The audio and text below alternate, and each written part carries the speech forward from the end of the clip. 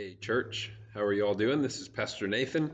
It is uh, time for our devotional for May 8th, and we're going to open to Acts chapter 17. But first, you have to try to guess where I am. If you guessed the choir loft, then you are right. I'm running out of interesting places to do these from. So, this is what I'm looking out on right now a big empty room. so, Anyway, I like to mix things up a little bit.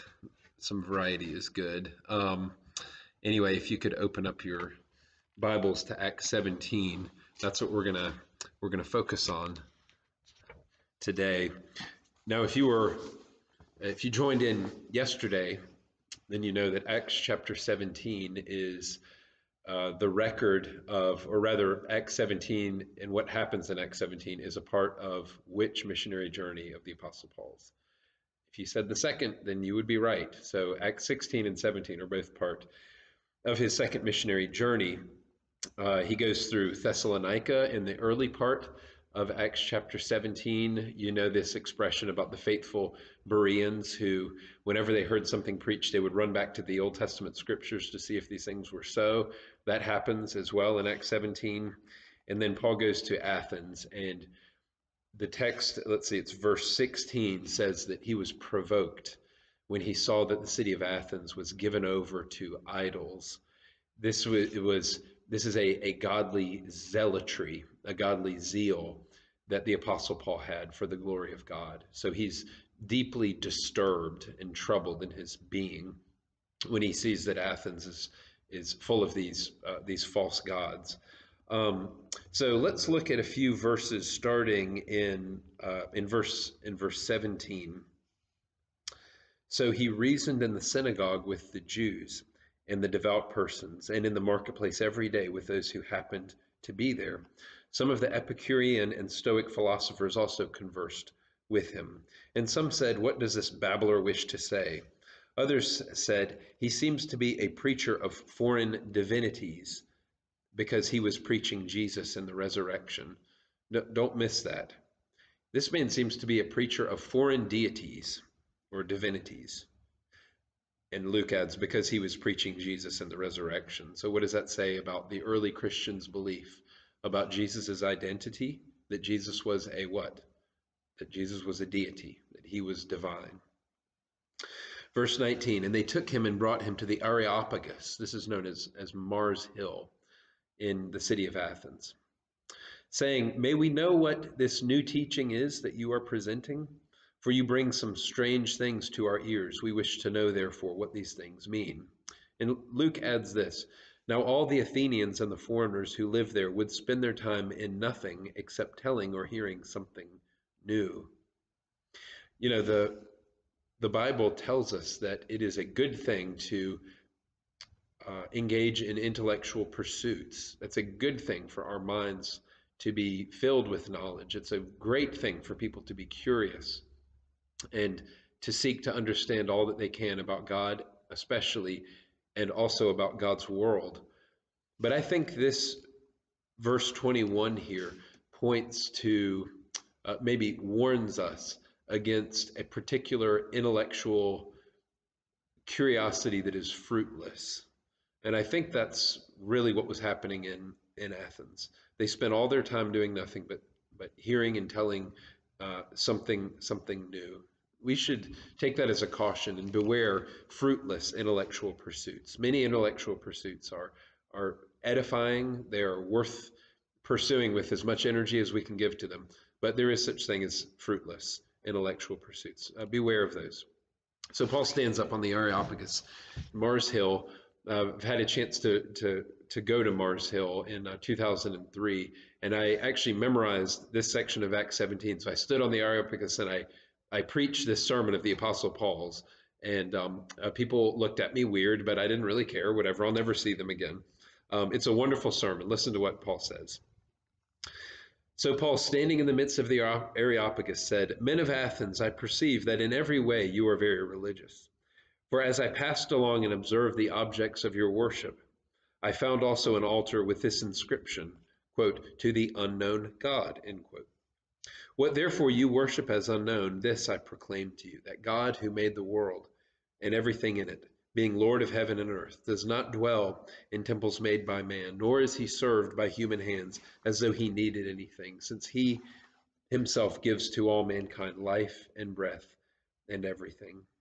And he made from one man every nature of mankind to live on all the face of the earth, having determined allotted periods and the boundaries of their dwelling places that they should seek God and perhaps feel their way toward Him and find Him. Yet He is actually not far from each one of us, for in Him we live and move and have our being, as even some of your own poets have said, for we indeed, we are indeed His offspring. Then Paul says this in verse 29. Being then God's offspring, we ought not to think that the divine being is like gold or silver or stone, an image formed by the art and imagination of man. The times of ignorance God overlooked, but now he commands all people everywhere to repent. Notice what the Apostle Paul says, and there are implications of this in us uh, testifying to who Jesus is and speaking to people about Jesus. Um, God doesn't beg and plead and pretty please, you know, ask people to um, to uh, to honor his son Jesus. No, God commands people to repent, to turn to his son Jesus.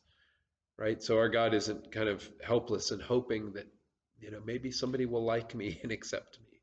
That's not the God of the Bible. God actually commands us to repent, and we're uh, rebellious and we're disobedient when we refuse to do that. So keep that in mind. There's a command for people to repent in verse 30. And why is that? Because of verse 31. Because he, that is God the Father, has fixed the day on which he will judge the world in righteousness by a man whom he has appointed. And of this he has given assurance to all by raising him from the dead. Uh, the Apostle Paul was the apostle par excellence of the deity of Christ. I mean, Paul writes about this extensively. And yet, Paul also says that Jesus is a man and he's the man that God has appointed to judge the world. That's absolutely true. So there's a sense in which, or not a sense in which, it is the case that Jesus, um, who is uh, uh, eternally fully God and fully man, will be the one who will judge the living and the dead. And, and Jesus will be able to judge all people, those who are alive and those who, who have died, by virtue of the fact that he is a man, right? So it would be one thing if just God we're, we're giving the judgment. It's like, well, God, you can judge anybody, and that's very easy.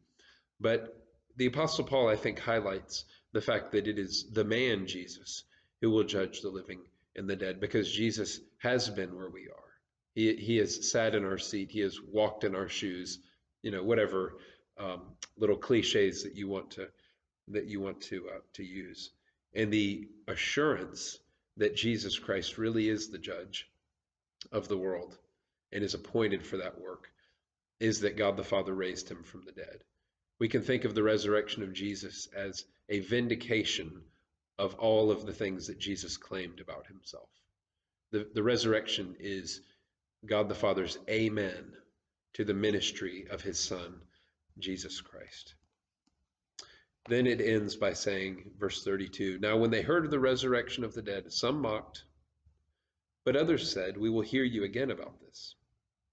So Paul went out from their midst. But some men joined him and believed, among whom also were Dionysius the Areopagite, and a woman named Damaris, and others with them. So the fruit was, was few as a result of this sermon that the Apostle Paul preached in Athens on Mars Hill or the Areopagus. Yet there were some, there were some men and women who were compelled and convinced by what the Apostle Paul said. And he did this in, in the center of intellectual creativity over all the world. I mean, Athens was known as a center for philosophy and thinking deep thoughts and things like that. Uh, so I, I, commend any of you who are laboring in fields in which, uh, in intellectual fields, where you are um, are seeking to to please God and to bring the reality of the knowledge of God to bear on your disciplines. It doesn't matter if you're a scientist, if you're in the business school, or if you're a, a some some kind of an intellectual who's uh, you know a historian or uh, any area like that, those are very worthwhile pursuits. But I would urge you to uh, to always keep first things first, and remember that our calling, as we engage in uh, those things that God has called us to, is to seek Him and His kingdom first, and to always bring the knowledge of God to bear on our subject, either directly or or indirectly, um, as God as God leads us. Um, so there you have it, Acts 17.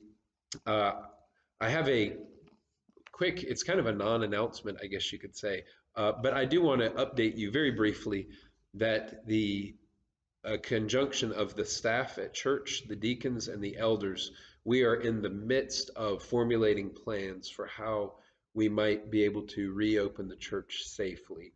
Um, those plans are still being worked through, so I, we don't have anything yet, any dates or any protocols to announce yet.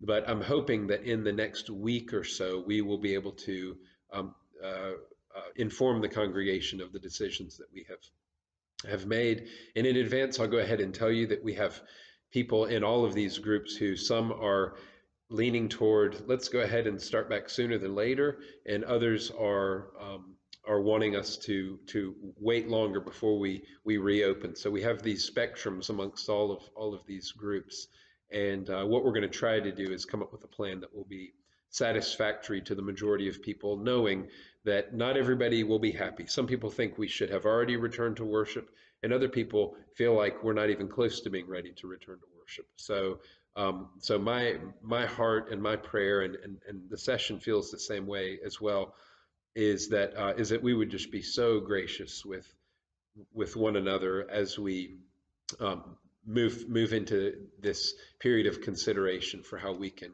wisely and safely resume gathering for for the worship of God. So my prayer is that we would just be be gracious with one another as we uh, um, as we begin to, to consider this question. So um, no more specifics for now, but um, God willing, I'll be able to announce something soon. So anyway, I wish you all well, and uh, as always, reach out if I can do anything to to serve you. Okay, God bless. Bye bye.